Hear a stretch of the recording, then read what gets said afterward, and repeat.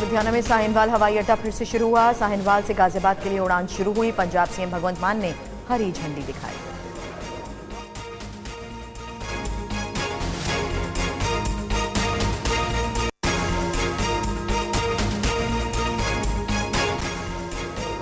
लुधियाना में साहिनवाल हवाई अड्डा फिर से शुरू हुआ। साहिनवाल से गाजियाबाद के लिए उड़ान शुरू हुई। पंजाब सीएम भगवंत मान ने हरी झंडी दिखाई।